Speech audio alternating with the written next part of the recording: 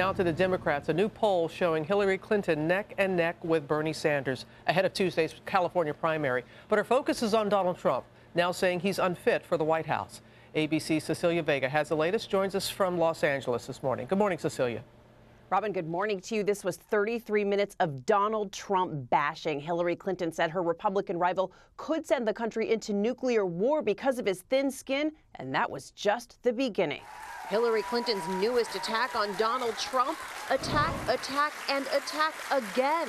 We cannot put the security of our children and grandchildren in Donald Trump's hands. Surrounded by flags and teleprompters for a speech on national security, Clinton using some choice words to describe her GOP rival. Incoherent, bizarre, thin skinned, and quick to anger, lashes out. She called Trump dangerous.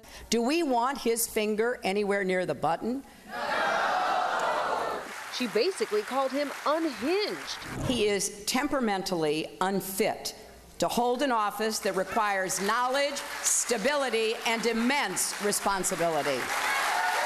Clinton may be taunting Trump, but she is still locked in a primary fight and hoping to avoid a California upset, making four stops in the Golden State yesterday alone. Bernie Sanders still drawing the crowds.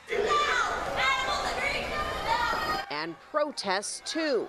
Secret Service agents rushing to his side as animal rights activists rush the stage. But Sanders got right back down to business. We will win, and a very large turnout will win big. And Sanders had some sharp criticisms, criticism for Hillary Clinton over that foreign policy speech, saying that we cannot forget that she voted for the war in Iraq, what he calls one of the worst foreign policy decisions in modern American history. George, she is, though, receiving a lot of praise this morning, especially from supporters who wanted to see her take a tougher stand against Donald Trump. And, George, they certainly got that with this big speech yesterday. They did George. get that, Cecilia. Thanks very much.